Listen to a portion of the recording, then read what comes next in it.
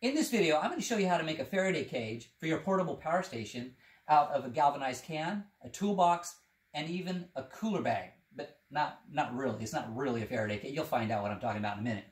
I'll show you how to test it and how we use ours, and then finally some options eh, for different size portable power stations and, uh, and just using a Faraday cage in general. Making a Faraday cage out of my galvanized can here and my aluminum uh, toolbox is pretty easy. I just need some aluminum tape, uh, high quality, uh, thick uh, aluminum tape, and just tape up all the seams and every place that uh, something is, is protruding through the metal, like for the handle here. And uh, the, uh, the rivets, just tape it up from the inside. And then any of the seams. That's all there is to it, really. Okay, same, same thing for the toolbox just everything that that uh, that you can see that has a uh, that was added on to it, the hinges, anything that was added on, or the latch, just tape it up. Now, um, as far as the seal, which is the most important part, um, it's got a rubber seal on it, and uh, I just put aluminum tape over it. But be sure that you bring it over and and uh, and bring the tape on to the the aluminum uh, toolbox as well, all one piece, because that's what you're trying to do. You're trying to create one solid aluminum box. And uh, that's really about it. The only difference is between this and the, uh, the can is um, we tape the outside of, of the edges, and in the can we tape the inside. It's just easier to do. All right, so this this is just a, a cooler bag uh, for lunch. You put your, you know, uh, you can put ice in it and drinks and everything. And actually, it's a really nice little bag. Um, so this is not a Faraday cage, but what I've done is I took the R EcoFlow R600 Pro and put it inside uh, an EMP bag, and and uh, so I know it's going to have at least um, 50 dB shielding. So that's how I store this particular um, portable power station. Just like that. The way I test my Faraday cages to find out if they're shielding 50 dB at least is I use a, a, radio and I turn this, I find the strongest signal I can find and then put it inside the cage and put the lid on and see if the signal goes away. If it does, I probably have about 50 dB shielding. Uh, and, and that's adequate to uh, protect my electronics, according to Dr. Bradley. Like I said, you can see his link below. So let's give it a try.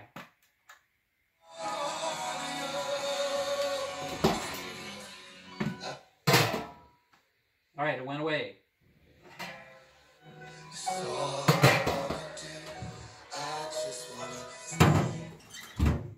Same thing. So it's probably getting about 50 dB shielding on this. And that's good enough.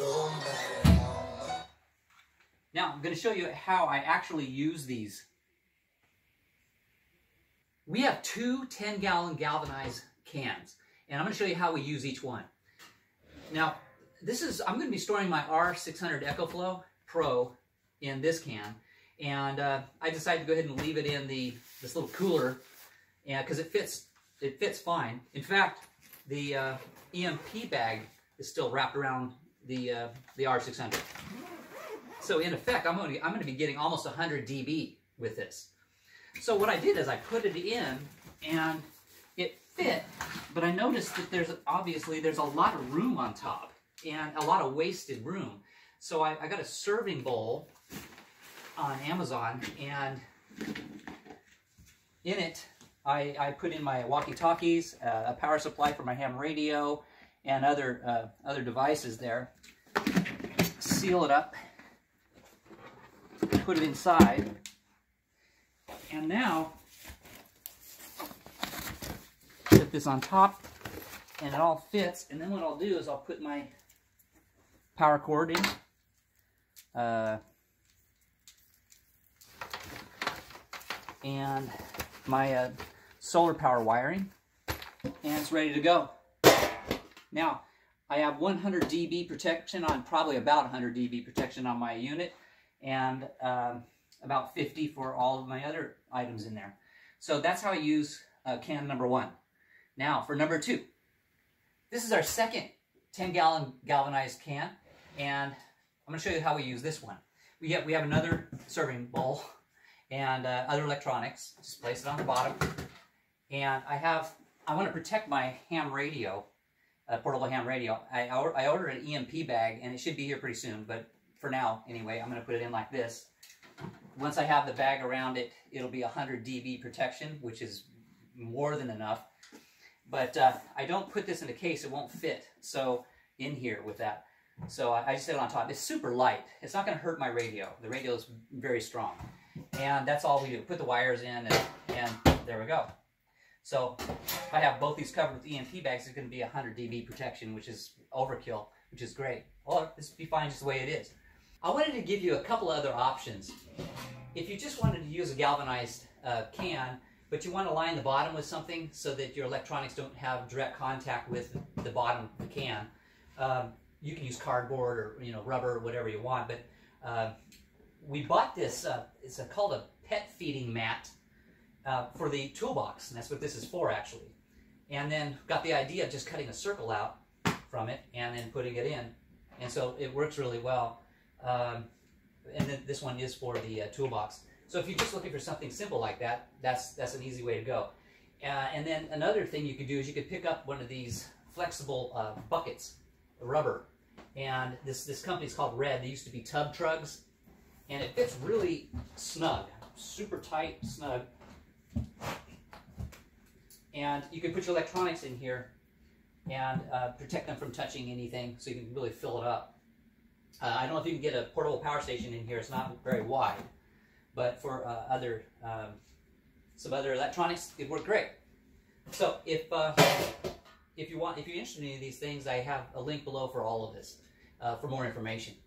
All right, so now I'm going to uh, tell you how we use our toolbox. All right, this is my other Faraday cage. It's that toolbox, and um, I line the bottom with the pet feeder mat that I already showed you. I keep my Delta 1300 in here as well as the EF 1500 external uh, battery for my R600 EcoFlow.